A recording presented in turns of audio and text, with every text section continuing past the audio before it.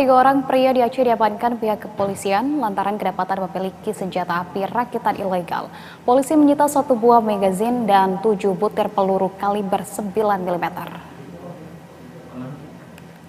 Kasus ini terungkap setelah korban warga Aceh Barat melaporkan bahwa mendapat ancaman dengan menggunakan senjata api rakitan pistol oleh mantan suaminya inisial S 48 tahun.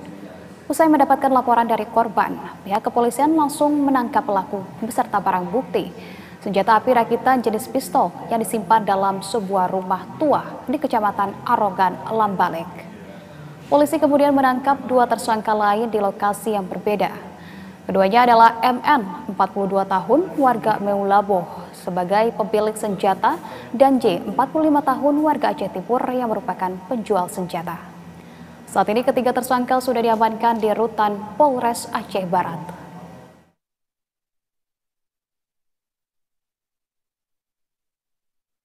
Senjata tersebut dan senjata di sini digunakan oleh saudara Sumada, ini sebagai pemilik senjata. Kemudian inisial MN, 42 tahun, alamat Melabuh, yang ikut membantu dalam pengambilan senjata tersebut dan tersangka satu lagi adalah inisial J 45 tahun alamat Pedawa Kabupaten Aceh Timur yang berperan untuk menjual senjata ke tersangka